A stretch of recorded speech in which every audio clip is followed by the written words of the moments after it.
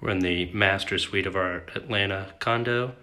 We've already got used our control 4 remote on the bed here to turn on our TV and entertainment options for the room.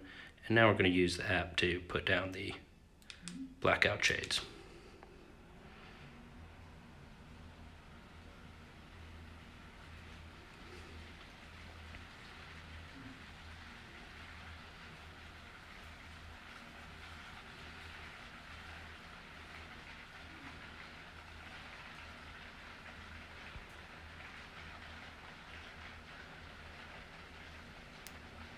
Can also put down our white shade curtains.